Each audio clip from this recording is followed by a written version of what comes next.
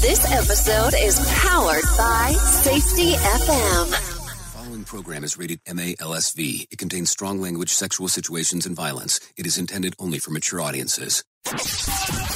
Finally, show with the balls to call it like it is. Rated R Safety Show on Safety FM. Countdown to audio torture. The Rated R Safety Show starts in three, two, one. Ah, let the eardrum pain begin.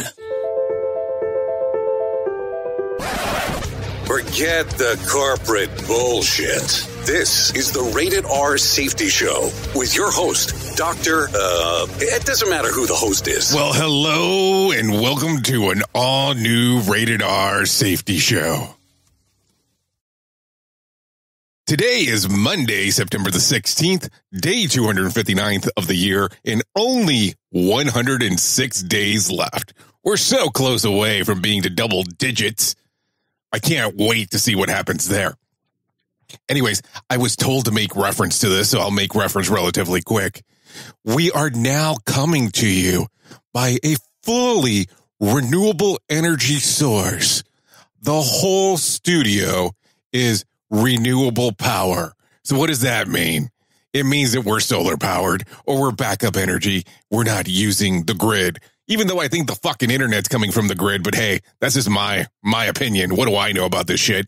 Anyways, how are you? How was your weekend? Hopefully you had all kinds of fun and you were able to do something extravagant, extraordinary, you know, all the fancy words you're supposed to be saying after you come off the weekend.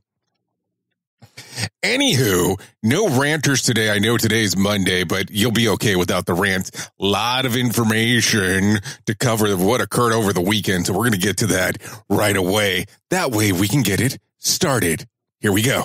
More sarcasm than a Mortal Kombat beatdown. Rated R Safety Show. Here is the news on the Rated R Safety Show. So coming right off the bat, did you see that the BBC is reporting that a few theories from scientists are explaining why young people today are increasingly allergic to common foods and substances? First, they are too hygienic without infections to fight. The body immune system turns against common things, common things that interact with whether it's milk or pollen or sesame, sesame seeds or whatever, and develops a specific resistance to it. Alternately, with the raging vitamin D deficiency from not having any time outside, they are lacking nutrients to fight either.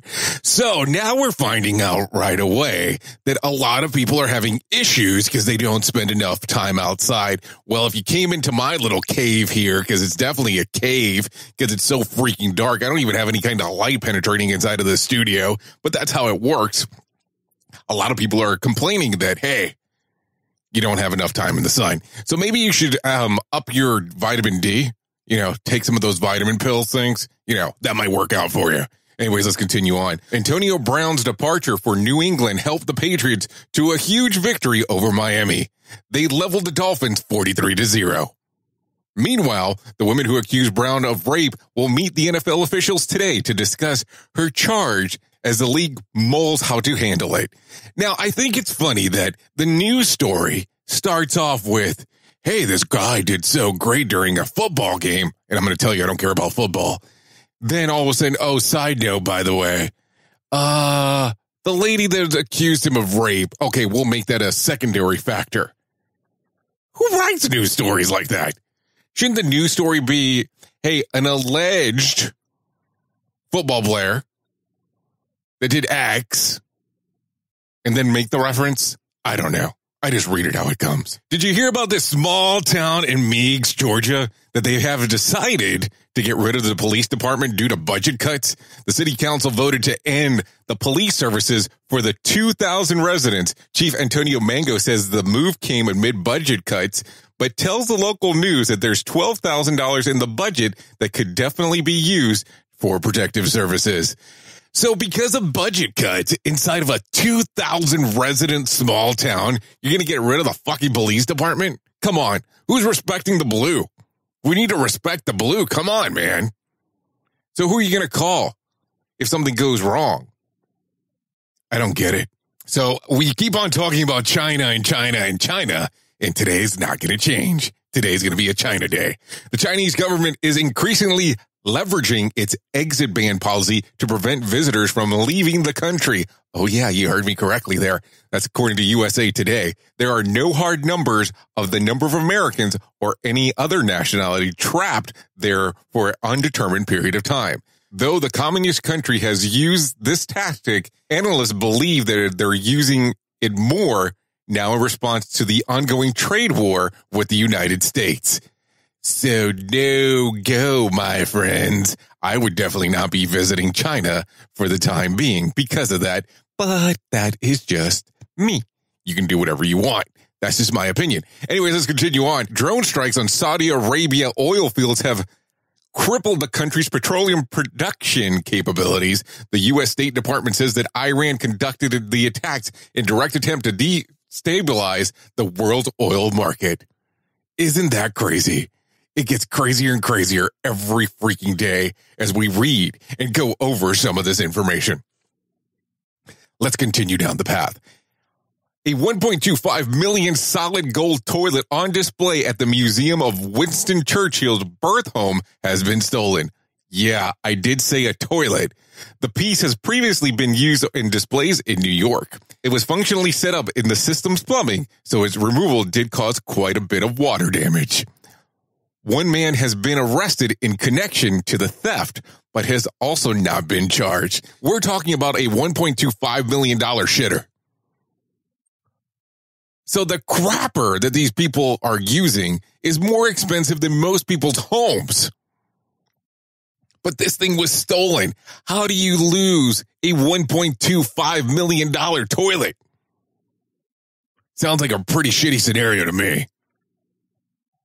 The Federal Reserve will likely cut the interest rate another quarter of a point, according to Chair Jerome Powell, says the economy is strong, but the decrease is to push against headwinds that point towards potential recession. Well, I guess that's a good thing, depending on how you want to look at it. Not the potential recession part, duh. Yeah, I said the duh, not the recording this time. Duh, duh, duh, duh, duh, duh, duh, duh, duh. You would think that it would go without saying, don't kiss your chickens. Yeah, don't kiss your chickens. The Center of Disease Control is encouraging chicken owners not to interact with their chickens at all, especially if they're keeping them out of their homes. It is a concern apparently as salmonella outbreaks are popping up across the country. From the ABC15.com, the CDC reports that on August 23rd, there has been more than 1,000 cases of salmonella from the outbreaks across 49 states. Two people have died from the infection and 175 have been hospitalized. So are you going around there and kissing your chickens? Come on, kissing your chickens. I want you to think about that. How lonely are you that you're going around kissing your own chickens, dude? Crazy, crazy stuff. Anyways, let's continue down the path. We're going to get into one of my favorite parts of the show. And that, no, no, no, no, I'm jumping ahead. I forgot to tell you about two other important things. Let me get to it real quick. Let's talk about the lottery. No winner for Saturday night's Powerball drawing. Wednesday's night drawing will be for $70 million jackpot for a estimated $47.6 million cash payout. No winner for Tuesday's night Mega Million drawing either. Tonight's drawing will be for $192 million or $130.7 million payout. So let me tell you about the weekend box office because I almost forgot about saying that. So let's take the top five. The Lion King is made $3.6 million. That's down from the number four spot from last week. Good Boys made $4.3 million. That's down from number three from the previous week. Angel has fallen $4.4 million. That's down from spot number two. At number two this week at $33.2 million was the movie Hustle. And that I believe is the one with Cardi B and J Lo, but I'm trying to remember because now I don't and staying at the number one spot, of course, for the second week in a row is It Chapter 2 at $40.7 million. And that stayed at number one across the board. So I guess that's good, depending on how you want to look at it. Anywho, anywho, anywho. Let me tell you about the days of the years that you can celebrate. And it's a long list today. So let's go through it. Mexican Independence Day. Anne Bradstreet Day. International Day for the Preservation for the Ozone Layer. Mayflower Day. National Collect Rocks Day. National Cinnamon Raisin Bread Day.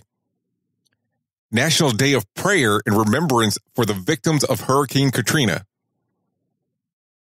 National Play-Doh Day. National Stay Away from Seattle Day. How's that even a day? I guess I celebrate that day quite a lot. National Guacamole Day. National Tattoo Story Day. Step Family Day. Trail of Tears Commemoration Day. Teenager Workout Day. Wrinkled Raincoat Day. And Working Parents Day. What kind of days are this, man? Really?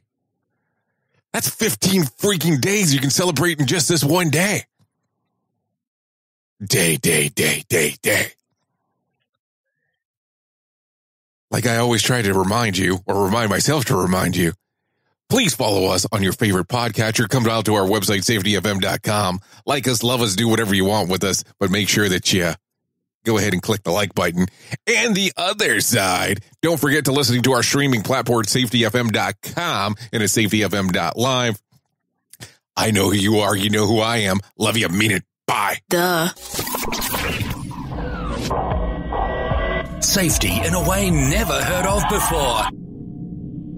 The Rated R Safety Show on Safety FM.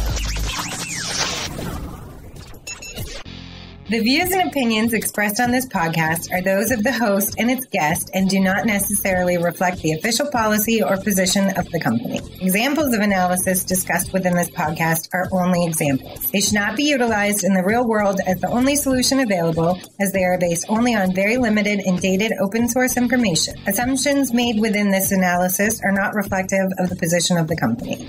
No part of this podcast may be reproduced, stored in a retrieval system, or transmitted in any form or by any means, mechanical, electronic, recording, or otherwise, without prior written permission of the creator of the podcast, Jay Allen.